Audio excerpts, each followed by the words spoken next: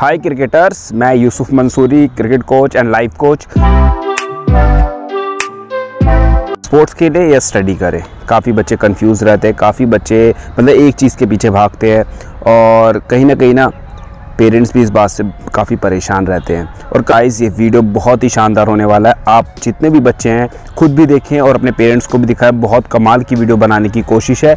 आपको मेरे हाथ में एक डायरी दिख रही है और राइटिंग और रीडिंग अगर आपको शौक़ है ना तो आप कहीं ना कहीं अपनी लाइफ को भी अंडरस्टैंड कर पाएँगे, लोगों की बातों को समझ पाएँगे और कहीं ना कहीं आप सही में एक मैच्योर इंसान बन पाएँगे और वही ज़रूरी है किसी भी किसी भी बच्चे के लिए, किसी भी प्लेयर के लिए, किसी भी स्टूडेंट के लिए, क्योंकि जो बेसिक फाउंडेशन है ना, वो स्टडी से इंक्रीज़ होता है, वो स्टडी से बनता है, वो स्टडी से डेवलप होता है। अगर आप उसको नेगलेक्ट करेंगे ना तो कहीं ना कहीं आप अपनी जो बेसिक मतलब बेसिक जो भी आपकी फाउंडेशन है ना, जो बेसिक रिक्वायरमेंट है, कहीं ना कहीं आप उसको नेगलेक्ट कर रहे हो। और ये सरासर आपकी लाइफ के लिए, आपके फ्यूचर के लिए काफ़ी मतलब डिसएडवांटेज देगी तो इस चीज़ को आपको समझना पड़ेगा। हम किसी भी चीज़ पे मंथन करते हैं, चिंतन करते हैं और उसको, इसको मन ही मन में डिस्क्राइब करते हो तो मैं आज जब वीडियो बनाऊँगा तो कुछ ना कुछ चीज़ें मैं भूल सकता हूँ। तो आज मैं डायरी लेके आऊँ, उसमें मैंने नोट नोट बनाया, दो भागों में चीज़ों को रखा है। एक स्पोर्ट्स एंड स्टडी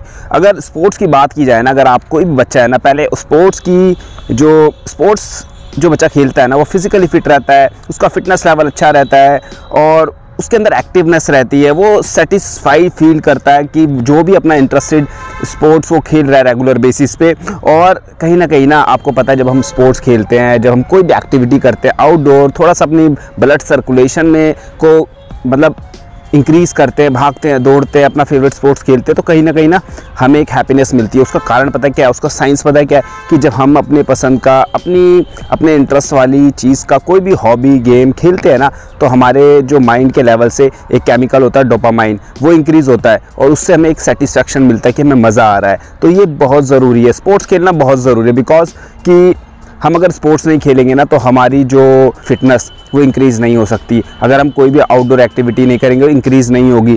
क्योंकि हमें हमें अच्छा अच्छा पॉस्चर चाहिए, हमें एक्टिवनेस चाहिए, हमें एजिलिटी चाहिए बॉडी के अंदर। हम एक्टिव रहें, हम कूल रहें, हम हम कहीं ना कहीं ना बॉडी वाइज एकदम हेल्थी फील करें। तो स्टडी पे आ जाते हैं। स्टडी का मतलब पता सिर्फ़ ये नहीं कि आप अच्छे नंबर ला रहे हैं। स्टडी का मतलब ये नहीं कि सिर्फ़ आप स्कूल जा रहे हैं। स्टडी का मतलब पता है क्या है? अंडरस्टैंड योर सेल्फ आप स्टडी करेंगे तो आप मेंटल ग्रोथ कर पाएँगे, जो कि बहुत ज़रूरी और बहुत ही मतलब इंपॉर्टेंट टॉपिक है किसी भी स्टूडेंट के लिए, किसी भी पर्सन के लिए।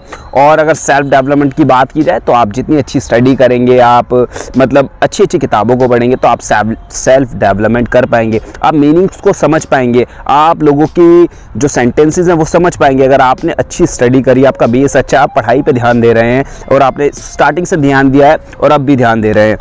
और एक और चीज़ आप ना चीज़ों को कैलकुलेट कर सकते हैं। आप अच्छी स्टडी कर रहे हैं, आप स्टार्टिंग से कर रहे हैं तो आपको पता होगा व्हाट इज़ राइट और रॉन्ग फॉर मी क्या अडॉप्ट करना है, क्या छोड़ना है, किन लोगों की बातें सुननी है कैसे क्या काम करना है। अगर आप बिज़नेस में जाएँगे तो आपने अगर स्टडी करी है तो आपको पता है कि मुझे कैसे अपनी चीज़ों को अच्छा करना है, कैसे मतलब प्रेजेंट प्रेजेंट करना है चीज़ों को, कैसे मतलब चीज़ों को दिखाना है, ताकि मैं एक अच्छा बिजनेसमैन बन पाऊँ, मैं अपने प्रोडक्ट को अच्छा दिखा पाऊँ, कैसे मैं एक अच्छा प्रोडक्ट तैयार कर सकता हूँ। ये सब एजुकेशन के लेवल से आता है। बेसिक फाउंडेशन है ना जो लाइफ का वो स्टडी से होता है कि आपका अगर बेस अच्छा है आपने आपने स्टार्टिंग से अच्छी स्टडी करी है तो आपको कहीं ना कहीं ना ये फ़ायदे मिलते हैं कि आप ना और लोगों से अलग रहते हैं। अगर आपने अच्छी स्टडी करी है आपका माइंड शार्प रहता है आप एकदम एक्शंस ले, ले सकते हैं और काफ़ी चीज़ें आप अच्छी कर सकते हैं। स्टडी के लेवल की अगर बात की जाए।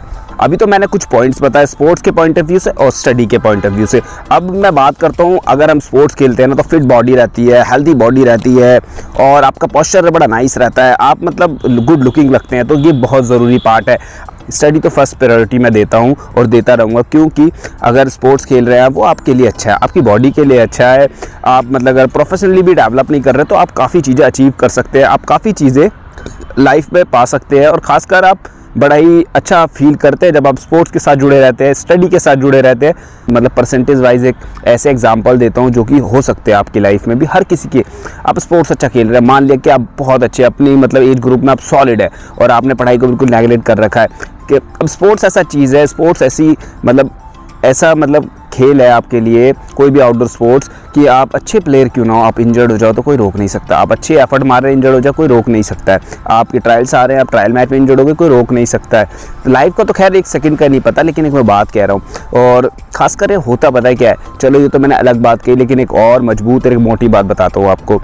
जितने भी स्पोर्ट्समैन है ना, जितने भी बड़े स्पोर्ट्समैन आप लेके देख लो, ज़्यादातर केसेस में पता है क्या, जो अच्छे स्पोर्ट्समैन हैं, जो मतलब बहुत ही एडवांस है, उनकी स्टडी का लेवल बहुत अच्छा मिलेगा आपको। उनके अंदर लीडरशिप क्वालिटी होगी लीडरशिप क्वालिटी होगी उनके अंदर। और वो चीज़ें उनको एक अच्छा कैप्टन बनाती है, उनको अच्छा डिसीज़न मेकिंग लेने में उनको मदद करती है, जो कि बहुत ज़रूरी है, क्योंकि क्विक एक्शन टाइम होता है एक्शंस होते हैं क्विक रिएक्ट करना होता है, आपको जल्दी रिस्पॉन्ड करना होता है, आप बिल्कुल भी टाइम नहीं ले सकते। वो आपकी नॉलेज के लेवल से आता है।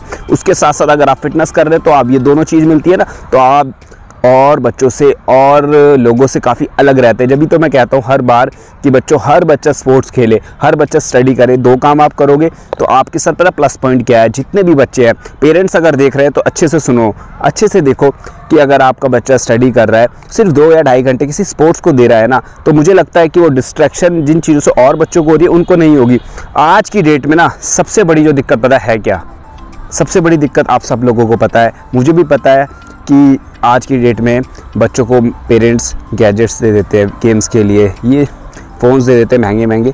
मैं मना नहीं कर रहा इन सब चीज़ों के लिए, बट क्या है कि ये लिमिटेड होने चाहिए, बिल्कुल लिमिटेड मतलब इतने लिमिटेड कि ठीक है कभी कभार गेम्स खेलनी भी ज़रूरी है कभी कभार ठीक है यूज़ करना ज़रूरी है, बट उनको उनको मतलब इन चीज़ों से खाली टाइम की वजह से वो एडिक्ट हो रहे हैं। कहीं ना कहीं उनका टाइम को ना शिफ्ट किया जाए। अभी वो मैच्योर नहीं है पेरेंट्स को समझना होगा, उनके कोचिज़ को समझना होगा, उनके टीचर्स को समझना होगा कि उनका जो टाइम है ना, वो मैनेज किया जाए। उनका एक टाइम मैनेजमेंट बनाया जाए ताकि वो स्टडी करें, अच्छी स्टडी करे, उसका दो घंटे, सिर्फ़ दो घंटे किसी भी स्पोर्ट्स को दे। अगर वो इंटरेस्टेड हैं तो अगर कोई बच्चा चाहता है उसके गोल्स स्टडी में कुछ एक्स्ट्रा ऑर्डनरी हैं तो वो अपना उस हिसाब से मैनेज करे वरना ज़्यादातर बच्चे स्पोर्ट्स को पसंद करते हैं। तो स्पोर्ट्स ज़रूर खेले, क्योंकि अगर आप अच्छी स्टडी के साथ स्पोर्ट्स खेल रहे हैं ना तो आप और बच्चों से काफ़ी अलग रहेंगे। बात की जाए बॉडी लैंग्वेज की, बात की जाए डिसीज़न मेकिंग की, बात की जाए कोई भी काम को अच्छे तरीके से करने की, और आपकी बॉडी लैंग्वेज बहुत अलग होगी और आप और बच्चों से काफ़ी अलग दिखेंगे।